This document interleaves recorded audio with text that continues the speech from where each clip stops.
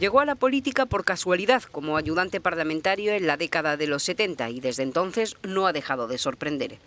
François Fillon ha sido el primer ministro que más tiempo ha estado en Matignon, con excepción de Georges Pompidou.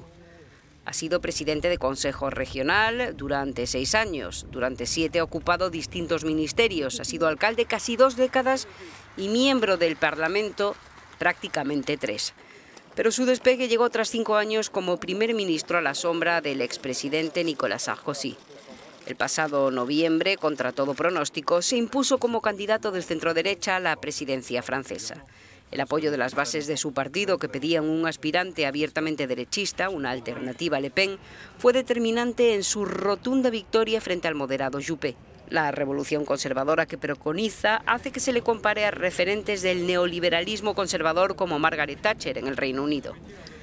Como candidato, Fillon ha pasado gran parte de la campaña tratando de contrarrestar con su programa el eco que ha tenido el escándalo de los presuntos empleos ficticios de su mujer e hijos, junto a su imputación por presunta malversación y apropiación indebida. Aunque el escándalo le ha pasado factura en términos de popularidad, lejos de dimitir, el candidato de los republicanos se dice víctima de una operación calumniosa sin precedentes para apartarle de la carrera presidencial.